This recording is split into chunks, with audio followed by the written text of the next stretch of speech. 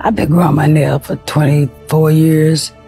I went through something when my daughter passed away in 97. She did, only one who did my nails. She polished them and filed them for me. And when I got up to go make groceries, I woke up and I told my kids, y'all get up and clean up. At the store, my baby daughter called me and told me, Ma, Tisha won't wake up. I said, no, tell her get up and y'all clean up.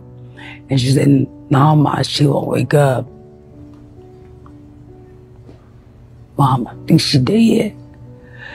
And she was 16. My daughter who found her was 15. She had died of an asthma attack in her sleep.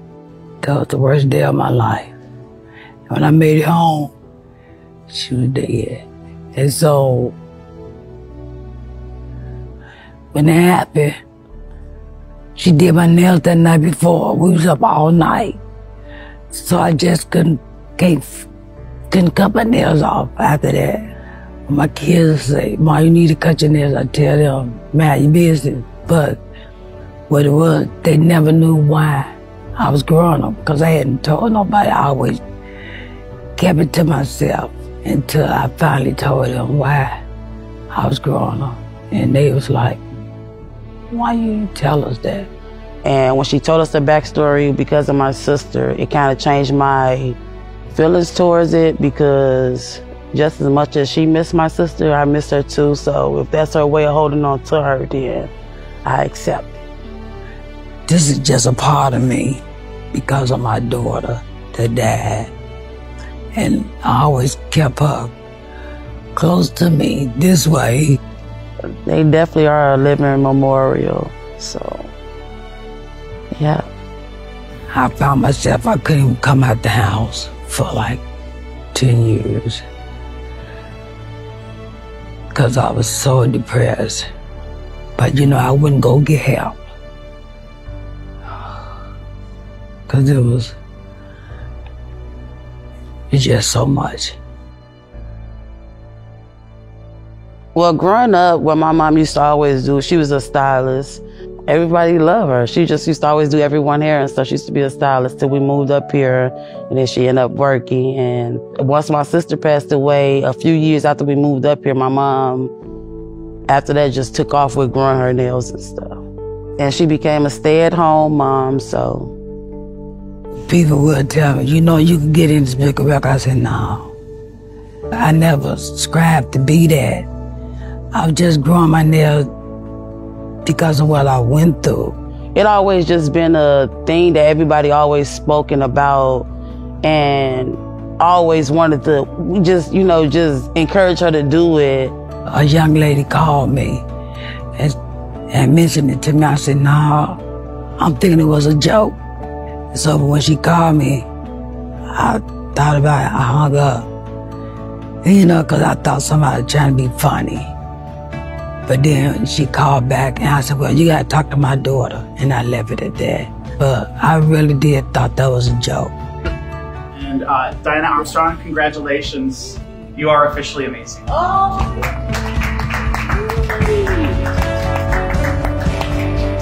When we learned today that my mother had the Guinness World Record title, I was in complete shock and emotional. I was happy.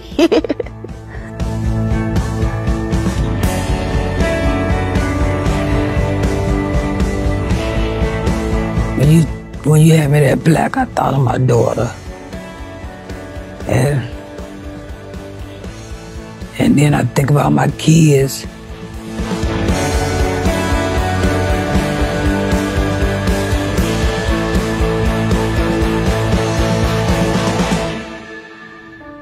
It's something I never thought that I that I wouldn't do.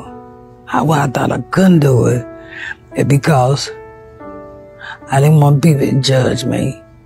So that's the reason why I never thought about it. But when it happened, it was like so, oh my God. Cause it was just an experience that I would never thought I ever experienced because I was so closed off in my own world. My mother's nails are 42 feet and 10 inches long. Well, I haven't been to a nail salon about 22 years. Cause when they see me coming, they be like, oh no. So who does your nails? My grandkids. My family love her nails. They just love her nails. just, like they like pay extra attention to her and they just think she like special.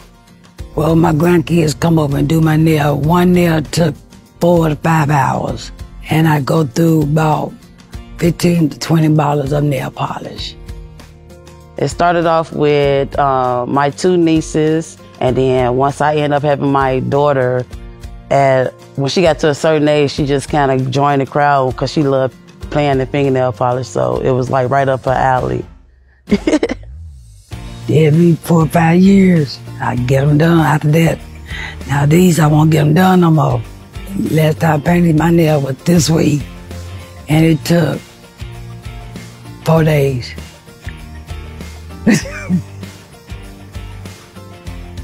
Living with my mom, at first it wasn't difficult, but the longer they have gotten within the past few years, it became extremely difficult because now we have to be extra careful and we always dodging around her so she won't hit us in the face or something.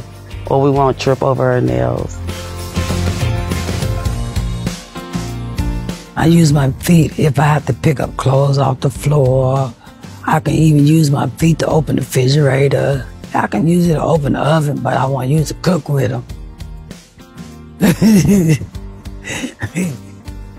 I have to pick money off the floor, I can pick up like bills, but if I drop change on the floor, that'll just stay down there. I can pick that up.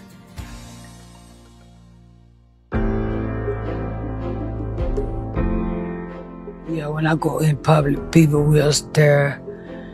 Or they ask, sometimes they will come up to me and ask, can they take a picture? I didn't used to let nobody take a picture, but now if they ask me, I let them take a picture. But to me, I think my nails are pretty. But to someone else, they might not be. But is to me.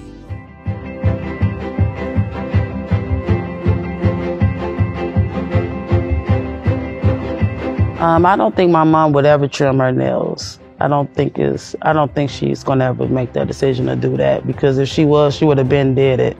You know, I don't think I ever cut my nails.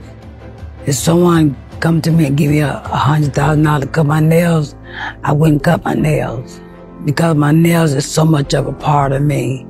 You know what? Every time I look at my nails, I think of my daughter. But I think I think even if I'm like down, and I, cause to me, I think she my guardian angel, and I just think of her. And so I think that she'll be proud of me because she's the last one did my nails. And that's who I think of when I grow my nails is my daughter. My family is going to be extremely happy to know that my mom got the Guinness World Record title for the longest nails on a pair of hands.